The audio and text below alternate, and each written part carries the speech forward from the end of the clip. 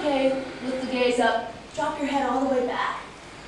Put the hands right above the shoulders, don't move them back. Good, straighten the right knee, inhale, keep the arms up. Turn to the other side, exhale, bend the left knee. A streak of electricity through your right leg. That knee does not bend. Mm-hmm. Push against my hand. Mm-hmm. So planted in that leg. Push against my hand. Yes, so strong. Hips square. Tailbone. Mm-hmm. Shift your ribs to the left and then reach up one more time. Open to Vira 2. Arms to the sides. Left knee pulls to the left. Right hip to the right. And gaze is past the middle left finger. Still real strong in that back leg. Mm-hmm. Really into the legs it's key to having our back strong. Chest up.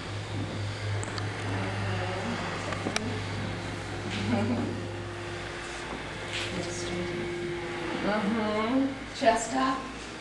Yes. Inhale, straighten the left knee. Turn to the other side. And exhale, bend the right knee. Right. So your tailbone is right under the top of your head.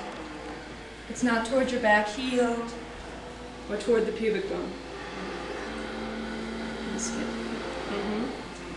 Challenge the psoas by pulling your left hip more to the left. More. Keeping the right knee to the right. Last breath in. Exhale, the hands down, step back, chaturanga. Up dog. Open the front of your body as much as you can. And exhale, pull back. Mm, then look to where you want to land and jump through the seat.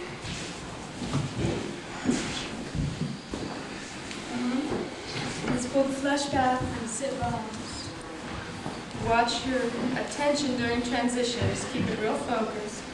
It's one long meditation. Flex the feet. Lift the chest. Exaggerate the lift in your chest. Keep the heels down the legs strong. And take a few breaths here. You've got this right angle. Send the energy lines in those two directions. Equal attention. Top of the head straight up. Sit bones are straight into the earth. Heels are straight out.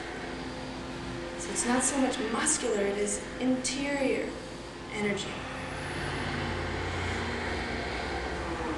And then keep all of that length and inhale, reach up.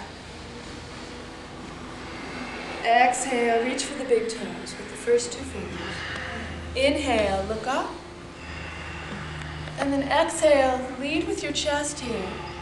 Move across the leg line, and when you feel that first spurt of resistance, just pause.